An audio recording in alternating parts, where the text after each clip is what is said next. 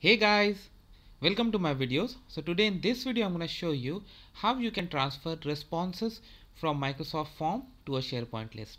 Before I proceed further, if you have not already subscribed to my channel, please go ahead and subscribe because I regularly upload videos and if you have any concern, any question, anything that comes in your mind, feel absolutely free to ask. Alright guys, so let's proceed. So guys, uh, we know that nowadays Microsoft Forms is being used extensively in order to collect responses, surveys, etc.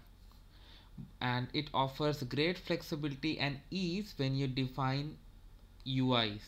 Very easy for end users to operate across various devices. Now, how about this?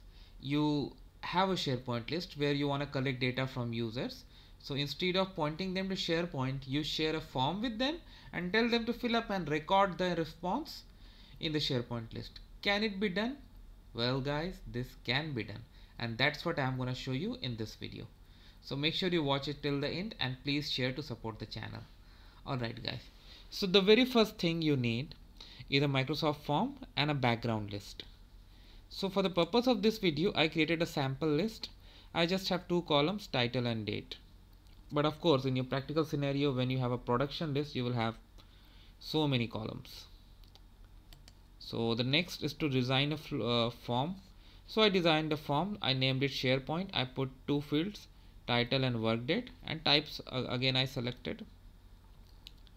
Now here comes the background flow. So of course the trigger is gonna be when a new response is submitted and you go to the drop down you select the flow that you created. Then you have apply to each and you need to get the response details so this you have to do for every response. So that's why list of responses notification response id now uh, for any response you want to convert that into your sharepoint list.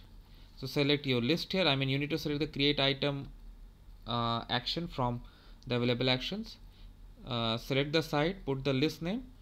Now here start mapping the field. So i map title that is coming from the microsoft form to the title field of sharepoint list. Again work date that is available in the Microsoft form with the date in SharePoint. Now after this my this is ready. If I do something and if I select a date submit. Okay this was submitted. Let me refresh. It may take a few seconds.